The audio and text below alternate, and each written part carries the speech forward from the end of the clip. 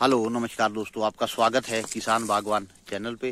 दोस्तों, आज मैं आपको बताऊँगा जो हमारी देसी शराब होती है, इंग्लिश शराब होती है, उससे हमारी फ़सलों पर क्या फ़ायदा होता है और उसका कितना इस्तेमाल करना चाहिए किन किन फ़सलों में उनका यूज़ कर चुके हैं किसान भाई और उन पे फ़ायदा हुआ है। तो वीडियो में अंत तक बने रहे। वीडियो अगर अच्छा लगता है तो वीडियो को लाइक करें, शेयर करें, चैनल को सब्सक्राइब करना ना भूले। आपके एक लाइक से हमें मोटिवेशन मिलता है। तो दोस्तों, अब बात कर लेते हैं। शराब के फायदों की, जो शराब की होती है, शराब की स्प्रे की जाती है और इससे जो हमारी सब्ज़ियाँ हैं, उनकी सेहत काफ़ी अच्छी हो जाती है, पौधे हरे भरे होने लगते हैं, पुष्ट हो जाते हैं और पैदावार भी अधिक होती है और महँगे जो हमारे कीटनाशक दवाइयाँ हैं, उनके मुकाबले ये सस्ता भी पड़ता है। और ये ज़्यादा दिन तक इफ़ेक्टिव नहीं रहता है। जैसे कीटनाशक होते हैं, वो बहुत दिन तक रहते हैं और हमारी सेहत के लिए उनसे विपरीत प्रभाव पड़ता है। वैज्ञानिक भी मानते हैं कि शराब या जो अल्कोहल होता है, उससे जो सब्जियों में लगने वाले कीट होते हैं, उन वो ख़त्म हो जाते हैं और जो इसके प्रैक्टिकल अभी तक हो चुके हैं, मिर्च हो गया, लौकी हो गई, तुरई हो गई, बैंगन हो गया और अन्य हरी सब्ज़ियाँ हो गई, गन्ने में भी इसका काफ़ी अच्छा रिज़ल्ट रहा है, धान में इसका अच्छा रिज़ल्ट रहा है, आलू में इसका काफ़ी अच्छा रिज़ल्ट रहा है और जो सर्दियों में पाला पड़ने की शिकायत हमारे किसान भाइयों को रहती है, पाला पड़ जाता है और उससे पौधा, हमारी जो फ़सलें है वो खराब होती है, उसमें भी ये काफ़ी ज़्यादा तक हमें हेल्प करता है फ़सल बनाने में।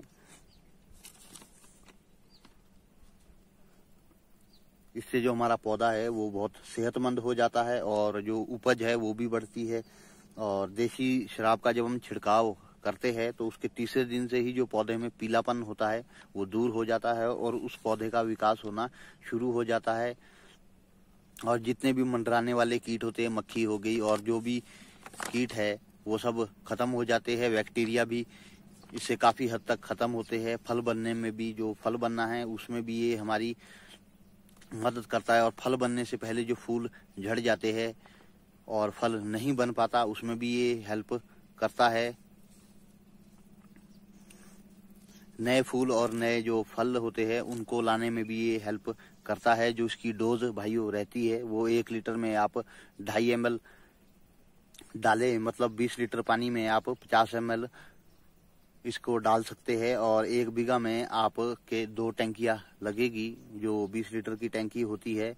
मतलब 100 एम से आपका दो बीघा में यूज़ हो जाएगा और एक जो देसी शराब का सबसे छोटी पैकिंग आती है, वो एक सौ अस्सी एम की होती है, लगभग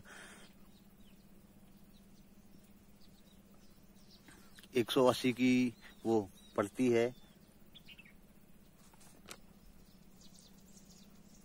तो 180 उसमें एमएल होता है तो एक पौवे से आपके दो बीघे तक आसानी से आपकी स्प्रे हो सकती है। तो दोस्तों आपको मैं फिर से बता देता हूँ कि इसमें क्या क्या फ़ायदा होता है। एक तो जो हमारे पौधे पर कीट होते हैं कीटनाशक का ये एक, एक अच्छा विकल्प है और बैक्टीरियल बीमारियाँ जो भी होती है उन पे भी ये कंट्रोल करता है और नए फल और फूल लाने में हेल्प करता है। और अगर फूलों में सेटिंग नहीं हो रही है फूल पहले ही सूख जाते हैं, फल आने से पहले उसमें भी ये आपकी हेल्प करता है और अगर आपका पौधा पीला हो रहा है, उसके लिए भी ये काफ़ी फ़ायदेमंद है, उसमें ये दोबारा से जान फूक देगा और पाला की अगर प्रॉब्लम आती है सर्दियों में तो उसमें भी इसका काफ़ी अच्छा फ़ायदा होता है।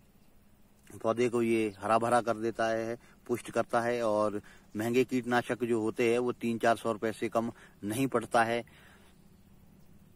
हमें एक बीघा, डेढ़ बीघा तो और ये उससे बहुत सस्ता पड़ता है और इसके, हमारी जो धरती है, उसके लिए भी ज़्यादा इफ़ेक्ट नहीं रहता है। ये एक, इसका असर ज़्यादा से ज़्यादा एक दो घंटे में शराब उड़ जाती है और जो कीट होते हैं, वो सभी नष्ट हो जाते हैं। इसके बहुत सारे फ़ायदे हैं। तो दोस्तों, उम्मीद करेंगे आपको हमारा वीडियो अच्छा लगा है। अगर वीडियो अच्छा लगा तो वीडियो को लाइक कर दे, चैनल को सब्सक्राइब कर दे। आप हमारे को इंस्टा, फेसबुक पे भी फॉलो कर सकते हैं। डिस्क्रिप्शन में मैं आपको लिंक दे दूँगा, वहाँ से आप हमें इंस्टा और फेसबुक पे फॉलो कर सकते हैं। अगर आपके कोई कमेंट्स है, कोई क्वेश्चन है तो आप ज़रूर हमें कमेंट करें। हम कोशिश करेंगे कि आपके जितने भी क्वेश्चन है, उनका हम आंसर देने की पूरी कोशिश करेंगे। तो मिलते हैं दोस्तों नेक्स्ट वीडियो में नए टॉपिक के साथ। तब तक के लिए धन्यवाद।